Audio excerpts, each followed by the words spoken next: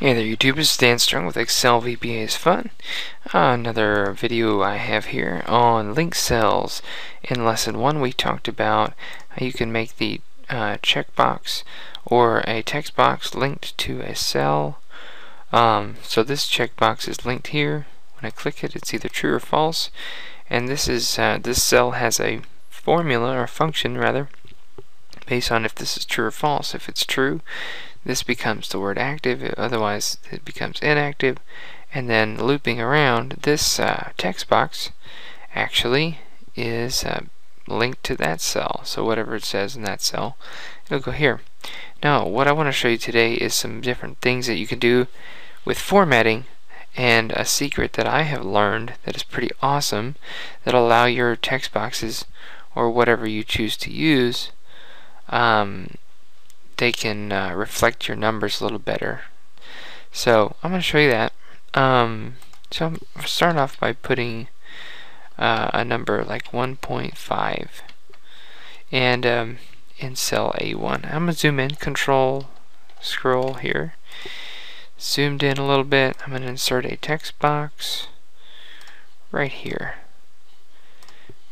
And I'm going to go ahead and link it to that cell.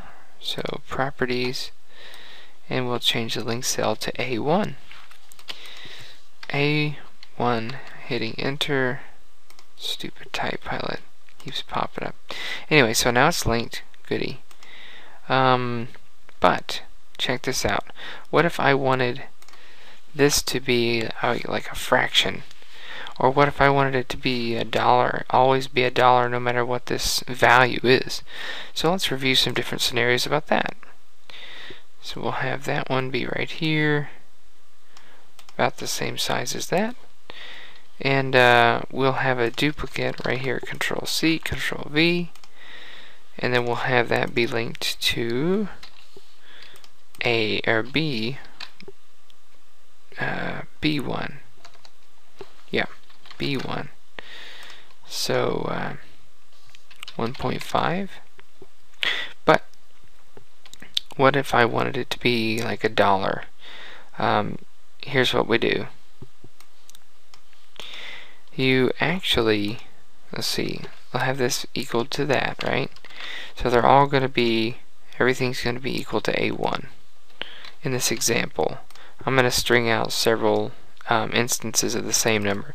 So if I change it to 2.5, you know, all these would be reflecting of that. What I want to show you is we can do a formula called the text formula. We don't want the actual value, we want like a formatted version of it, right? So equals text, and some of you know where I'm going with this, but I'm going to use the text and I hit a comma, uh, text of whatever's in A1, but the formatting of the text is, was the kicker. So if I wanted a fraction, I'm going to say uh, pound sign space pound sign slash pound sign pound sign and put and then fin finishing quotes. So that's like 1 and 1 27th or something. So it's a number space number slash number number for the fraction. So end your parentheses. And now you see that this takes on, it says 2.5, even though, so if I did 1.0625, it's going to say 1 and 1 16ths right here. Now these ones still take on the numerals because they don't have a text formula. So let's copy that text formula down a little bit. That way we can just simply finagle the function.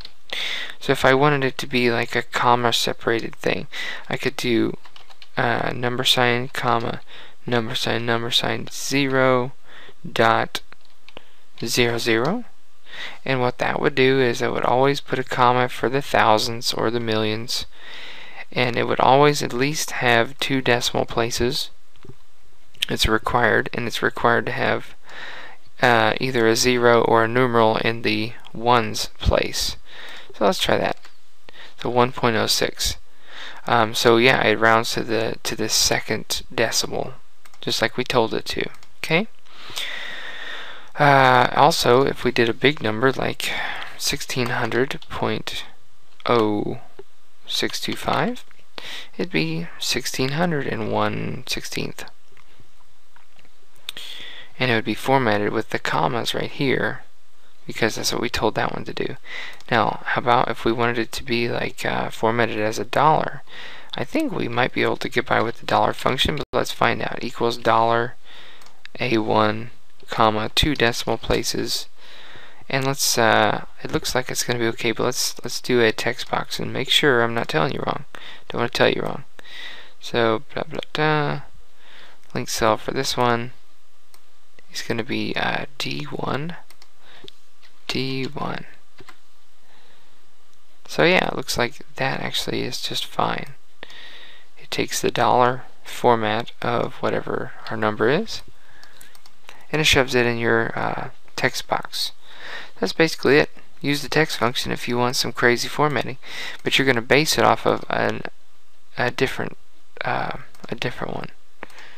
So this is the one that everything everything's looking at, and these are actually just fake. They're just taking that and turning it into a um, a different formatting of it, and that the text the linked cell for these text boxes can deal with that a lot better than just taking the straight value. So I hope that helps somebody. I think I've uh, said one too many words on the subject, but if you want to download this workbook and play around with this topic, you certainly can. Uh, this one is called Linked Cells Lesson 1. You got uh, both tabs here right now. At the time of this filming, I might add more to this workbook. Anyway, you can always get my updates if you just click on my Dropbox link on all my videos and you'll be able to find this one called Linked Cells Lesson 1.xlsm. Be sure and dig through all my other workbooks. They're all free for the taking. So check out those macros and play and learn and have fun and text me and or email me or whatever and uh, let me know what you think. But leave a comment, click like if you liked, if it helped you at all.